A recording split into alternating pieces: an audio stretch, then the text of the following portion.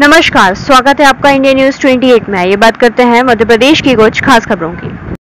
पांडुरणा फुटकर व्यवसायी की व्यवस्थापन करने के लिए कलेक्टर को सौंपा ज्ञापन। फुटपाथ व्यवसायी पुलिस लाइन पांडुरणा के व्यवसायी है, जो खाली जगह है। इस पर बैठकर व्यवसाय कर रहे थे तो उन्हें 8 नवंबर 24 को बिना नोटिस दिए चालू दुकान को जेसीबी लगाकर तत्काल प्रभाव से हमारी दुकान तोड़कर हटा दी गई। जिससे हमें बेरोजगार कर दिया गया है, जिससे हम लोगों की भूखे मरने की नौबत आ गई है। हमारी उक्त समस्या को देखते हुए हम व्यवसायियों का व्यवस्थापन किया जाना अति आवश्यक है।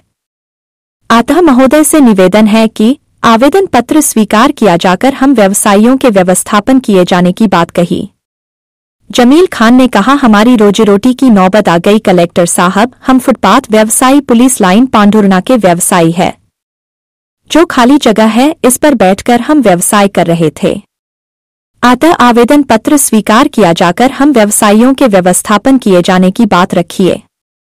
गोकुल चांदे, मुकेश गोंडे, उमेश सावले शेषराव गोंडे, राजू चांदे, कल्याणजी मयंक, हिमराज गोरे, सुरेश कराड़े, मोहित डाहारे, हरिभाऊ विजयकर, विजय धारपुरे, गणेश अशोक पराड़कर, हफीज खान, अतुल लाड, दीपक पाटिल, मोहम्मद फारूक, विनोद भादे, प्रशांत दारोकार राजेंद्र बाल पांडे, मंगेश पेले, हर्षद भद्रे, गोलू निमजे, अयाज खान आदि मौजूद थे। तहसील रिपोर्टर रविन्द्र नानवरे की रिपोर्ट।